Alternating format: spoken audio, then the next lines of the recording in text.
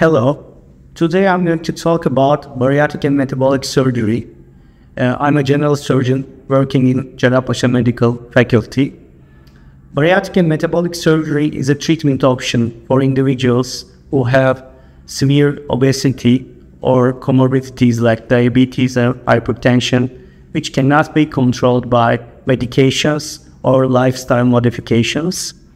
Today's surgery is the, one of the best options for the treatment of this catastrophic disease, which affects almost 30% of the individuals worldwide. Hence, bariatric and metabolic surgery is the most efficient treatment method which has the best long-term results for obese individuals. If you are an individual who cannot benefit from medical treatment or from exercise or from nutrition treatment methods, I think you are a candidate for bariatric and metabolic surgery. In our faculty, we provide surgical care in minimal invasive techniques, which can be um, done laparoscopically or robotically.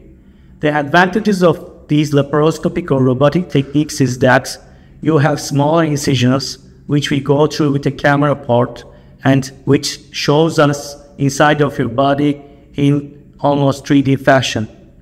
So we can do the operation more precisely and you can go home after two or three days and you can start uh, feeding uh, almost one day after the surgical treatment. As bariatric and metabolic surgeons, we take obesity very seriously. So we follow you up in one, three, six, and 12 months diligently with our multidisciplinary team because teamwork is very important for the treatment of this chronic disease.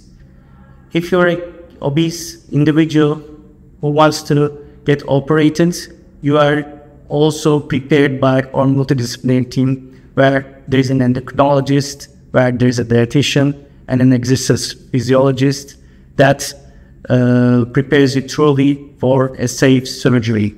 Safety is our priority for our patients in our clinic.